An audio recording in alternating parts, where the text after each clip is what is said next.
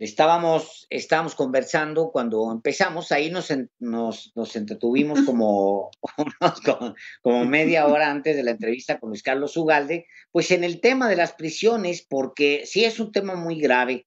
De los ocho penales federales construidos, eh, concesionados a particulares, que cuestan casi 10 mil millones de pesos cada año, eh, y deben seguirse pagando, o sea, así se tienen que seguir pagando hasta 2032. Operan estos a 43.2% por debajo de su capacidad. Pero se paga, eh, se está pagando como si estuvieran llenos los penales.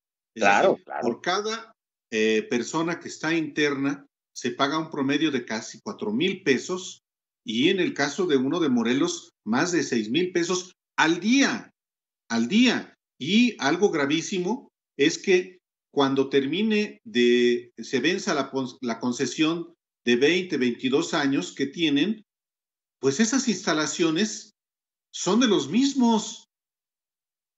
Y, por tanto, la mecánica es que se les renueve la concesión, se les está pagando renta para tener ahí a presos. Pero ¿cómo viven los presos en esos penales, Alejandro?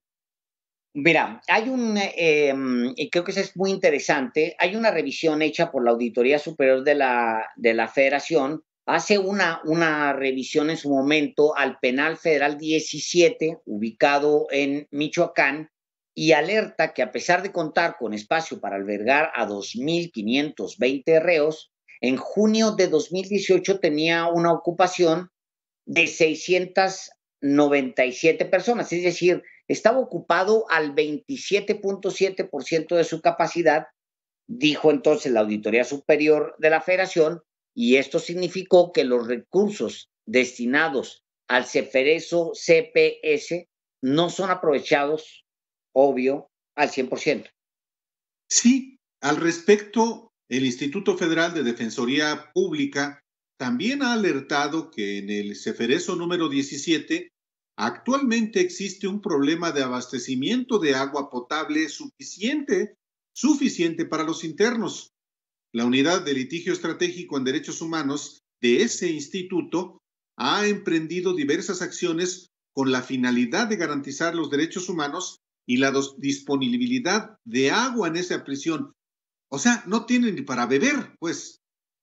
Bueno, dice el instituto que también se documentó que ante la falta de agua, así tal cual de agua, a las personas privadas de la libertad se les imponen tratos que, equivalen a tortura, obviamente, por lo que el pasado 12 de noviembre el titular del, de este Instituto Federal de Defensoría Pública emprendió una acción legal a través de un juicio de amparo en el cual se señalaron a las autoridades de ese centro de readaptación y, por supuesto, a las, a las empresas que están detrás y que son las grandes ganonas en el sistema penitenciario. Y bueno, hemos invitado, hemos invitado esta tarde a Neftalí Sandoval Ballesteros, titular del Instituto Federal de Defensoría Pública, justamente para hablar sobre, sobre este tema y le damos la bienvenida aquí a los periodistas. Bienvenido a los periodistas, Neftali. Muchísimas gracias, Álvaro. Muchísimas gracias, Alejandro. Me da mucho gusto eh, compartir con ustedes este momento, esta plática para su auditorio. O sea, ni siquiera agua. Exacto, es lo que voy a para los internos. Claro, uno imaginaría que, dado el gasto, dado el dinero que está gastando el gobierno en mantener estas eh, cárceles, estas prisiones, pues habría condiciones al menos dignas de vida al interior de, estos CPS, de estos contratos de prestación de servicio. Em, pero lamentablemente no es así. La, mm, la realidad es que las, las, condiciones de vida en, estos eh, en estas cárceles, em, pues básicamente están vulnerando los derechos más elementales. Imagínense el derecho al agua, este es un caso eh, en el que nosotros consideramos que hay un trato incluso denigrante hacia las personas. Hemos podido documentar, tenemos oficios de las propias autoridades eh, penitenciarias, em, en donde reconocen que algunos, eh, les llaman PPLs, algunas personas privadas de libertad les han em, sugerido, las propias autoridades penitenciarias, que tomen agua del mingitorio, porque no hay agua. ¿El mingitorio? Así es. Nosotros consideramos que esto es un trato eh, degradante. Y por lo tanto que em, pues están violando de forma grave los derechos humanos, los derechos fundamentales de las personas que viven eh, privadas de libertad. No todas son culpables de haber cometido un delito, muchas de ellas están en proceso, son inocentes porque están esperando su juicio. Y sin embargo se les está negando incluso, insisto, la posibilidad de consumir agua potable esto eh, ha causado enfermedades gastrointestinales al interior de, este eh, ceferezo. Hay una situación gravísima. Por cierto, les comparto, eh, lo que yo promoví es un solo amparo, pero hemos promovido ya cuatro amparos en relación con este mismo asunto. Y además hemos incluso acudido a instancias internacionales porque nos parece que la situación al interior del ceferezo en, en Michoacán, de este CPS, es francamente insostenible, es una, una eh, un atentado a los derechos más básicos de las personas. Además, insisto, esto no es algo que, digamos, eh, esté yo eh, alegando, ¿no? Como un instrumento de defensa en lo absoluto. esto no tiene que ver con los procesos que, enfrentan las personas. no estamos diciendo que los torturaron para obtener confesiones. No, no, no, no. Estamos diciendo que al interior de, la prisión les niegan la posibilidad de, consumir agua potable. Y em, les comparto que dentro de estos otros amparos que promovimos, eh, la, versión de las autoridades, de las que sí son autoridades públicas, es que la empresa privada se está negando a gastar dinero en garrafones de agua, que era la forma en la que antes llevaban el, agua potable. Entonces, eh, eh, digamos, hay, ah, hay aquí un conflicto muy claro. Neftalí, ¿qué sabemos, ¿qué sabemos de la empresa? Porque, pues, ¿quiénes son los dueños que de, esa, de esa empresa y los dueños de esa concesión, ¿quiénes son? ¿Sabemos quiénes son? Sí. El, te decía, el argumento de las eh, autoridades, digamos, del órgano administrativo desconcentrado de redacción social, es precisamente que quien está fallando son estas empresas. Eh, ¿Quiénes son? Em, empresa promotora y desarrolladora mexicana, SADCB, Prodemex, eh, concesionaria en infraestructura penitenciaria en Michoacán, SADCB, y concesionaria de infraestructura penitenciaria de Michoacán, SAPI DCB. Son empresas que tienen contratos multimillonarios, como ya se ha dicho, como ya se ha eh, expuesto, em, que tienen, pues, eh, por supuesto, garantizado un ingreso, eh, independientemente de que esté lleno o no el, el ceferezo, y sin embargo están negándose a comprar agua potable, porque además hay una situación muy clara. Estos eh, estos CPS, este tipo de, de fueron construidos en lugares muy lejanos, muy baratos, eh, digamos, terrenos muy baratos, muy remotos, pero que obviamente no tienen acceso al agua. Eh, no tienen servicios, digamos, instalaciones sanitarias. entonces, lo que hacían pues era llevar garrafones, llevar, comprar, ¿no? Pero ahora están dejando de hacerlo.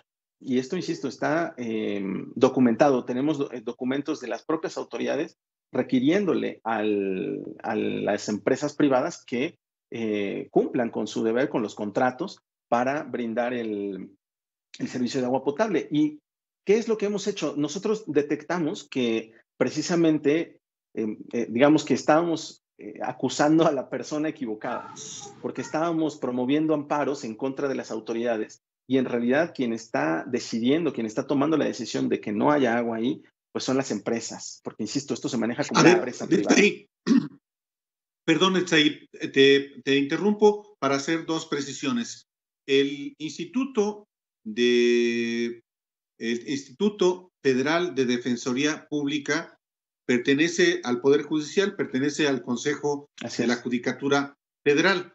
Una precisión. La otra, tú no lo dices, ahí, yo lo, yo lo digo, pero la empresa que tiene la concesión del penal de Michoacán es Prodemex, que pertenece efectivamente a Olegario Vázquez Raña y a Olegario Vázquez Aldir. Y son entonces estas empresas, a pesar de cobrar tan caro, incapaces de dotar de agua a personas, aun cuando sean, hayan sido sentenciadas, hayan sido encontradas culpables, tienen el mismo derecho humano a quien eh, solamente sigue sometido a proceso, ¿no? Así es. Eh, incluso yo añadiría, eh, insisto, hay personas ahí inocentes a las que se les está negando el agua, pero incluso aunque sean personas que ya se les encontró responsable eh, de cometer un delito, por este supuesto que tienen derecho a la sobrevivencia, a subsistir consumiendo agua. Aquí, insisto, el problema es que se está poniendo en riesgo su vida, pero les comparto algo interesante de lo que estamos haciendo desde la Defensoría. Em, digamos, lo tradicional es promover un amparo en contra de la autoridad. En este caso, lo que hicimos, eh, ese es el amparo ya que suscribí yo como titular de la Defensoría, eh, fue promover un amparo en contra de la empresa. Esto no es tan común. ¿Se puede? Eh, la nueva ley de amparo, sí, la nueva ley de amparo, un poco, bueno, a raíz de los grandes cambios constitucionales que se han dado, de las reformas constitucionales en las que yo les compartiría, el ministro Saldívar, que ahora preside la Corte, eh, pues ha tenido un papel crucial, ¿no? Entonces, en la creación de la nueva ley de amparo, él fue fundamental y precisamente se, preveía la posibilidad de promover amparos en contra de particulares. Entonces, ahora lo que hicimos fue promover un amparo en contra de la empresa, de estas empresas que están administrando y que son los que verdaderamente obtienen ganancias de este negocio. Y em, al principio les comparto que el juez, pues em, naturalmente son un poco eh, resistentes a aceptar este tipo de jueces, es algo muy novedoso. Em, eh, un amparo contra particulares. Pero eh, impugnamos eh, este, este asunto, lo, llevamos a una segunda instancia y nos dieron la razón. Y en este momento ya se, se ordenó que tiene que admitirse y que tiene que considerarse, es decir, hoy por hoy, estas empresas son autoridades responsables ya, reconocido por un tribunal colegiado, reconocido por un juez de distrito, son autoridades responsables por la omisión de garantizar el derecho al agua. Eh, eso es algo que no habíamos logrado y que hoy ya eh, hemos eh, pues, obtenido en un proceso jurisdiccional, que se les reconozca como autoridad responsable, que, que se sepa que quien está violando los derechos de estas personas son esas empresas y no pues el, el, gobierno que finalmente ni siquiera administra esas, esas cárceles. Porque luego hay esa, esa, esa percepción, eh, Netzaí, hay esa percepción de que pues si se trata de, los, de los penales, pues es el gobierno federal, que es quien se supone que lo tiene. Pero luego se olvida que eh, Felipe Calderón con Genaro García Luna al frente de la, de la Secretaría de Seguridad Pública Federal es quien se, hace 10 años le suelta a estos hombres de negocios los, la administración de individuos. O sea, porque eso es lo que está haciendo, se está entregando en manos de empresarios para que obtengan una ganancia de administrar individuos, muchos de los cuales, como bien dices tú, eh, Netzaí Sandoval, no están ni siquiera, no tiene sentencia. Así es, justo esta, esta situación, esta posibilidad de, digamos, de ver las, las prisiones como un negocio, ha tenido unas repercusiones muy graves yo les compartiría que el caso de Michoacán es muy alarmante y digamos que está hoy muy presente. Ha habido ya diferentes reportajes sobre lo que se está pasando en, este CPS, pero yo les comparto, si ustedes me lo permiten, que hemos llevado muchísimos litigios precisamente por las vulneraciones a los derechos más elementales en estos CPS. Uno esperaría que dado la enorme cantidad de dinero que están obteniendo estas empresas, por lo menos habría condiciones dignas de vida. Y yo les comparto que tenemos eh, una infinidad de litigios en contra de estos CPS, justamente por no cumplir con las condiciones más elementales eh, y más básicas de, vida. Les podría platicar algunos ejemplos, pero no sé si eh, quieren que abordemos ya estos temas a detalle.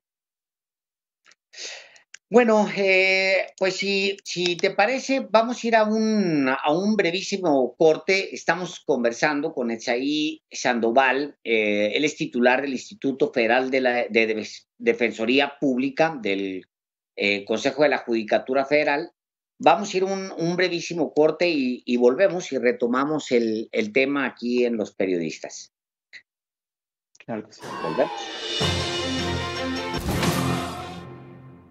Retomamos, retomamos esta conversación con Netzaí Sandoval, el titular del Instituto Federal de Defensoría Pública, porque hoy justamente se, platicó, se habló sobre este tema en la, en la mañanera. Le doy unos datos para dar eh, pauta a esto. Son ocho contratos con empresas particulares, por, todos por adjudicación directa, entre todos esas, esos penales, está el penal justamente del que estamos hablando, que es el de eh, Michoacán. Los contratos son por 22 años de vigencia.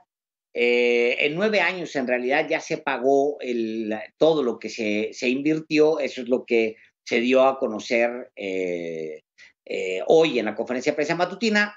Y pues aun cuando hemos pagado 75 mil millones de pesos, nos quedan a los mexicanos por pagar 190 mil millones de pesos, pero ni siquiera nos vamos a quedar con los fierros, o sea, ni con los edificios.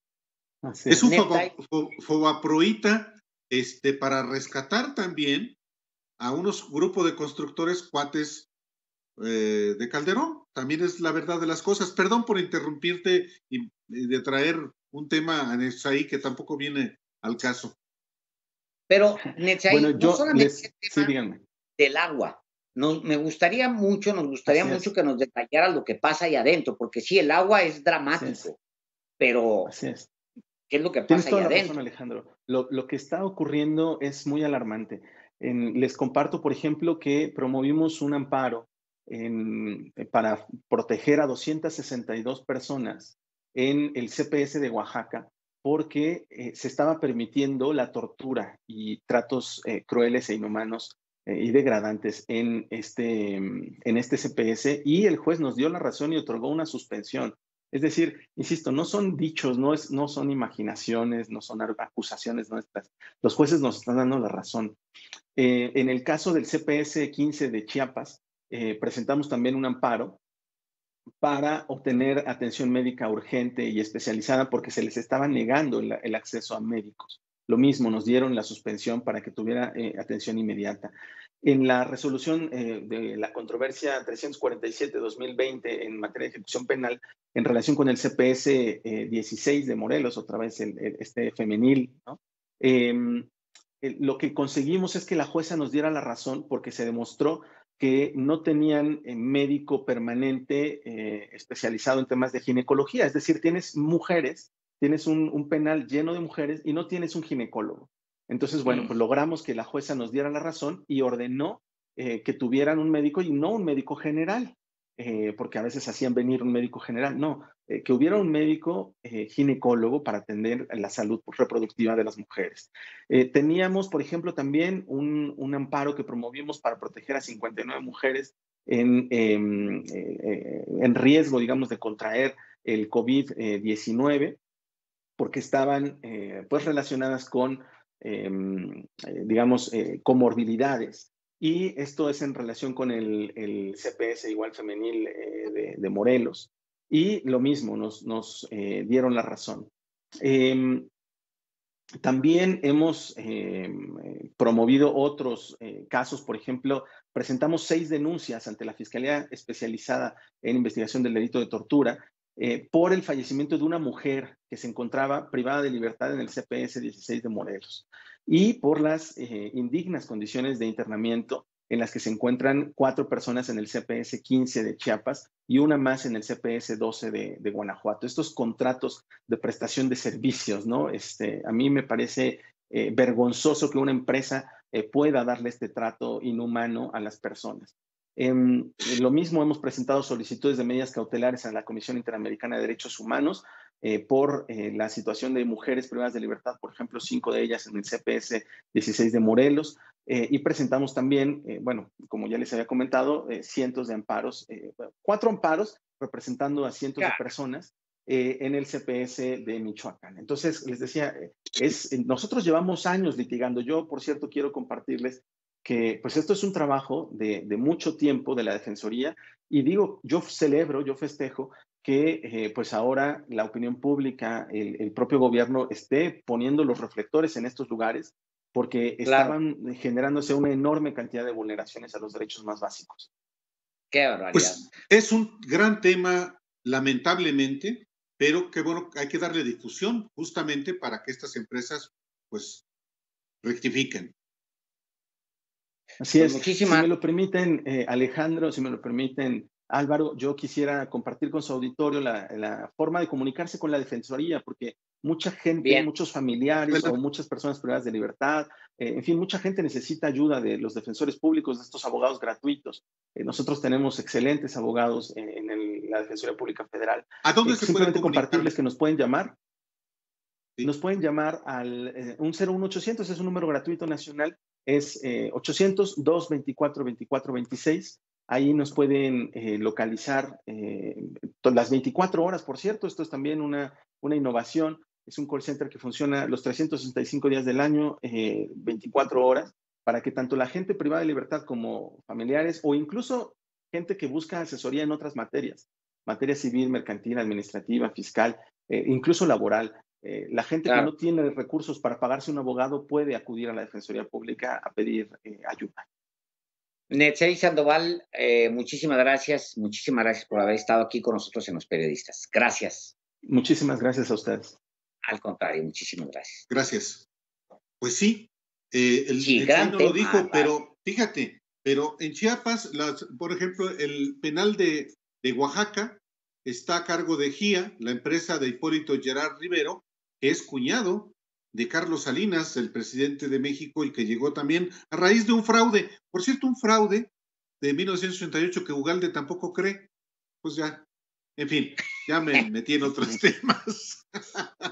Mira, pero al final, Álvaro, fíjate nada más, ya nos vamos a ir a un corte rápidamente, pero al, al final, fíjate nada más, es que es un mismo grupo dando vueltas en los mismos asuntos.